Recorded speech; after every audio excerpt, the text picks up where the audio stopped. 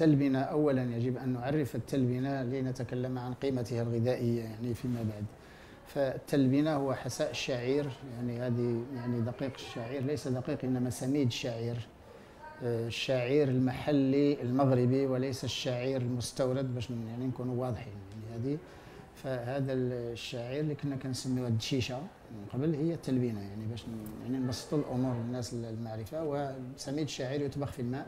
يضاف معه شيء من الملح أو لا ومن الأحسن أن يضاف زيت الزيتون. أظن زيت الزيتون يكون أحسن ولا يكون فيه حليب. يعني هذا هذه هي يعني هذه التلبينة. فالشعير مكونات الشعير طبعا هو آه، يعني محتوى الشعير كما البروتيني هو كافي جدا للجسم لأن الشعير نعرفه يعني للحيوانات. هذا يعني تسميل الحيوان. هذا يعني على أن فيه بروتينات وفيه آزوت فيه نيتروجين. فيعني كاين الشعير يمشي من 11 حتى ل 14 كاين أنواع ديال الشعير اللي فيها يعني كمية هائلة من البروتينات. ثم فيه أملاح معدنية الشعير فيه أملاح معدنية أكثر من القمح ومن الذرة. وكيلاحظوا الناس على أن الشعير اللون ديالو كيتغير كيول إلى إلى الاسوداد وهذا يعني على أنه يحتوي على مضادات للأكسدة على بوليفينولات. وهذه البوليفينولات هي التي تتأكسد وتعطي هذا اللون. هو غني جدا بالمضادات للأكسدة. وفي أملاح معدنية. كل الأملاح يعني بوتاسيوم في مغنيسيوم مانغانيز في زنك.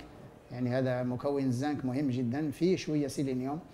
وفيه كذلك تريبتوفان مكون تريبتوفان هو الذي يعطي السيروتونين. ومادة السيروتونين التي تساعد على النوم. يعني الآن كل الطب الحديث يبحث عن السيروتونين على عناصر هذه على يعني مكونات السيروتونين السيروتونين لا يوجد في الطبيعة باش نوضحوا للناس لأن كثير من النصائح هكذا تأتي يعني عمياء أو عوجاء.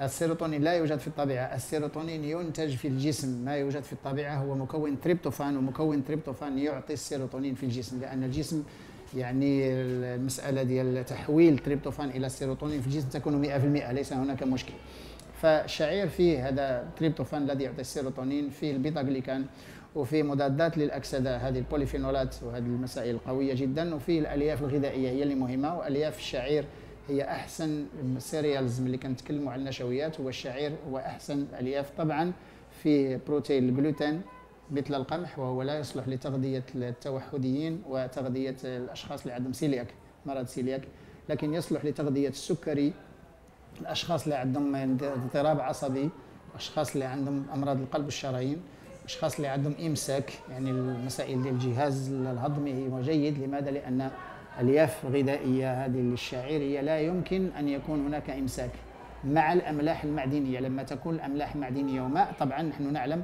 أن إذا كانت الأملاح المعدنيه والماء بكثرة يكون إسهال مش إمساك. يعني هذا وهذه يعني هذا الحساء الشعير بالعكس هو جيد خصوص حاليا للنساء لأن مشكل ديال هذا ديال الفيتوستروجينات ديال يعني الهرمونات النباتية الطبيعية هذه الفيتوكيميكالز هو مهم للنساء. لماذا؟ لأن النشويات عموما تغذية على النشويات بدون دسم حيواني هو يحمي من سرطان الثدي ويحمي من سرطان البروستاتا ويحمي من سرطان القولون كذلك.